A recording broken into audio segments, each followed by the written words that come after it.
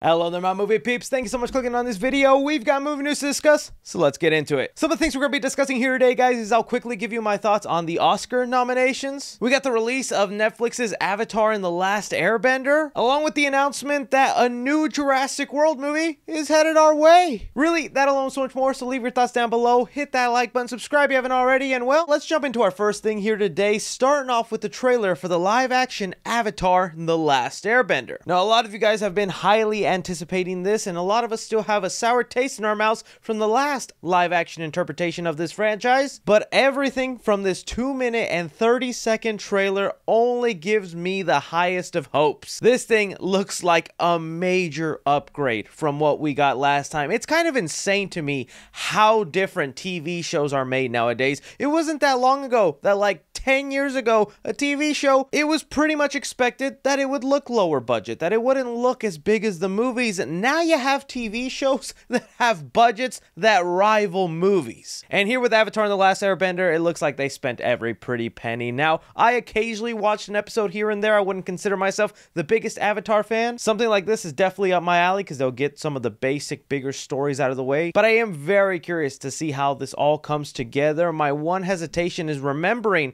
that the creators of Avatar and The Last Airbender, they quit in the making of this show. They had some sort of disagreement with Netflix and the way they were running the show. I'm curious if fans will be able to notice what that major disagreement is, or maybe this will just turn out to be another major success because lately Netflix has been doing quite well with their live action adaptations. Overall, though, this looks good to me. I'm curious to see what you guys think about it. Then from there, the other big thing that everybody was discussing here today is the nominations for the Oscars were let out. Now, I'm someone that doesn't do a lot of Oscar or high caliber movie talk on here. Sometimes I feel like that's out of my league. I like to just get excited about the random popcorn adventure movie, and I think there's nothing wrong with that. But even though I don't talk about it much here on the channel, oh, I check out all the Oscar nominated movies. I look into the performances. I actually do get into this. And so with the nominations they revealed here today, I did have a couple of thoughts. For one, I was really happy to see that Godzilla Minus One did get a nomination, not for Best International Film, but for Best Visual Effects. It was put there in a category alongside The Creator, Guardians of the Galaxy 3, Mission Impossible, and Napoleon. A good little group, but I'm just so happy to see that Godzilla Minus One got some sort of recognition because the VFX definitely blew me away, and it was also nice to see that video online of the creative team getting so excited with their little Godzilla toys right there, man. When looking at like the best animated features, I was surprised to see that TMNT did not make it on the list. Very happy though that Nimona did. That's one I highly recommend to you if you have not seen it. That was one of my biggest surprises of last year when I checked it out. And you know what? I'm hoping Across the Spider-Verse takes the win here, although I feel like it's going to be The Boy and the Heron. And you know, Discussing Films actually put together a really great list of the things a lot of people were complaining when the Oscar nominations were let out. Things like no Leonardo DiCaprio or Zac Efron for Best Actor. And yeah, that's definitely something that stands out. No Iron Claw nominations whatsoever. Not for the movie, not for the actors and their performances, and oh, that stings. A lot of people say it was because that movie just came out a little too late and not a lot of the voters got to see it in time, but Zac Efron deserves some sort of nomination, man. Not just for the acting, but for the physical performance and what he put his body through. That has to account for something. Also, a lot of people were seeing a lot of Barbie snubs here with like Greta Gerwig not being added to the Best Director category. And if you look at the rest of the things that Barbie was added onto, it's so weird that Greta Gerwig did not get that nom, but I didn't think it was going to matter all that much because we know Christopher Nolan's taking that category. Same thing when like it comes to the Best Picture category. A lot of good movies in there, not many surprises. I felt like everyone mainly expected these films to be on there. I would have liked Iron Claw, but that didn't happen. But either way, not going to matter because Oppenheimer is taking it. It's going to be curious to see how many wins Oppenheimer gets because I feel like it's going to sweep this year at the Oscars. I don't know. That was just some of my thoughts from this nomination. It'll be interesting to see who wins, who gets a steal, but uh, what are your guys' thoughts on the Oscar noms? Moving on here, we got a plot detail revealed online for the upcoming live action Lion King prequel titled Mufasa, and I gotta say, I'm extremely mixed on the direction of this movie. So,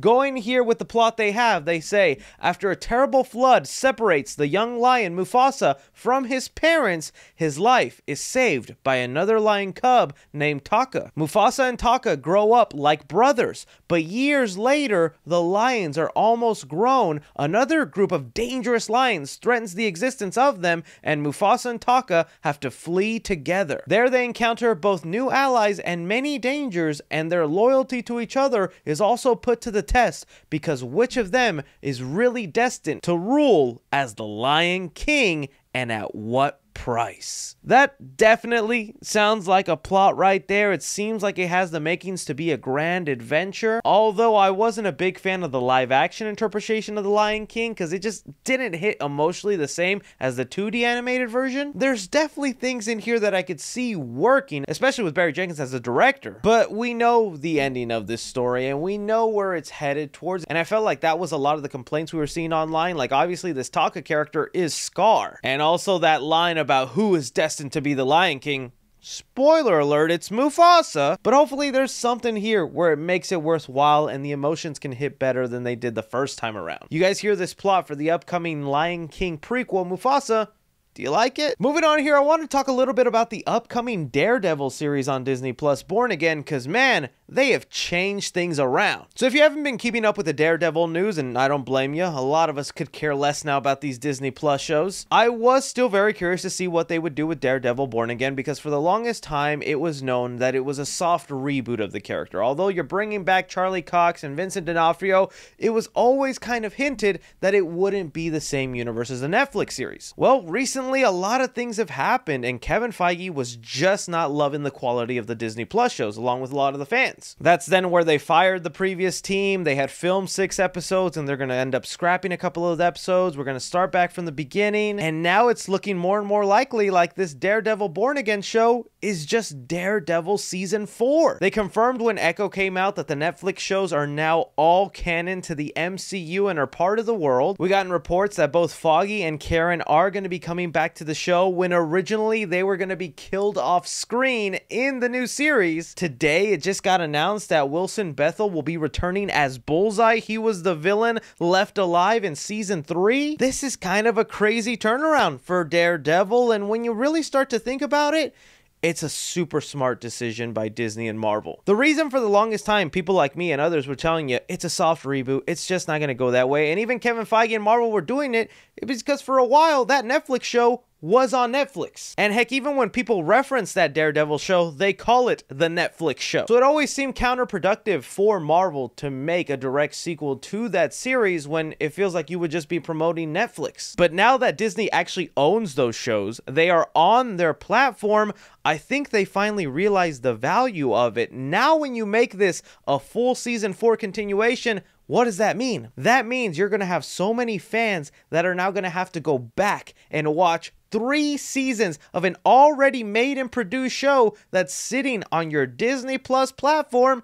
And what do streaming services love? Watch time, people jumping on. I think they found a great loophole to take advantage of that both made the fans happy and made Marvel happy. Now, if they meet the quality of that show, that's a whole different thing. I'm hopeful that they do. I mean, there was even a report that they brought back the same fight choreography team from the Daredevil show for this new series. Even with the Punisher being included in it, there's going to be elements where they reference his Netflix Punisher show. I'm just having a lot of hopes here, and it's just kind of crazy to see how much Marvel has turned around on not wanting to connect this to the Netflix series. This is then where I throw it off to you guys. Uh, you hear how much the Daredevil show has changed from what they once thought they were going to do to now just kind of following in the footsteps of Netflix. Good idea, bad idea. And well, that brings us into the news that we got surprisingly yesterday that we are getting a new Jurassic World movie. Revealed here by the Hollywood Reporter, they say new Jurassic World movie in the works with David Koepp writing. Now, if you don't know, David Koepp is actually the one who wrote the first two Jurassic Park movies. That's the original one with Steven Spielberg and The Lost World, the sequel. Two movies that I think most people would argue are probably the best of the Jurassic Park series. In the article, they also state that they've actually been working on this script and story for a while now, that it's deep into production, and specifically saying here, the project has been flying under the radar, is far enough along, and the script is is in well like shape that the studio is whispering of a possible 2025 release date. So they're far enough along where shooting for this movie is going to begin looking like this summer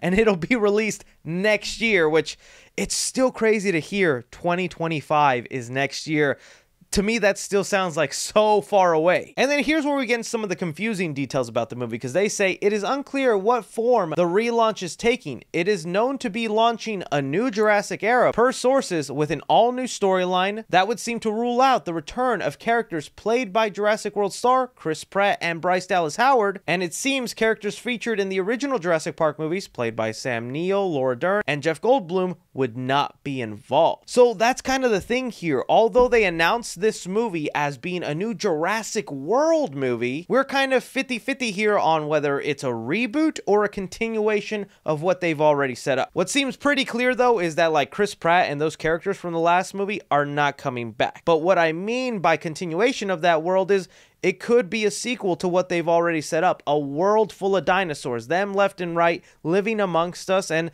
a new story with new characters there. And I gotta be honest, I don't think I would love that idea. Jurassic World Dominion was one of those movies that really disappointed me as a Jurassic Park fan. I've always loved this franchise, but I just have no idea how the latest trilogy blew the idea of dinosaurs everywhere, and it just wasn't that interesting. Jurassic Park became one of those franchises that used to be known for having horror thrilling elements, but then ended up becoming an action franchise, where the latest movie felt like Fast and Furious with dinosaurs. So part of me would kind of hope that it would just be a soft reboot going back to the park idea, because I felt like that's what was always best, right? I love that first movie. I even like the first Jurassic World because of the theme park element. I don't think you have to take the story so grand where you're cloning girls and then military trained dinosaurs and whatnot. I felt like it stretched itself in a way where Jurassic Park wasn't meant to go. Still, we'll have to wait and see here. They're obviously calling it Jurassic World, so it seems like it'll be a continuation of the dinosaur world, but uh, I throw it off to you guys. What would you like to see be done in a new Jurassic Park movie? Anyways, guys, that is all the movie news currently have going on right now. I want to thank you so much for taking time out of day to watch me talk some movie news. Don't be forgetting to hit that like button, subscribe if you haven't already, follow me on Twitter at 3C Films or on TikTok at 3C Films. But as always, I'm Chris. Take care.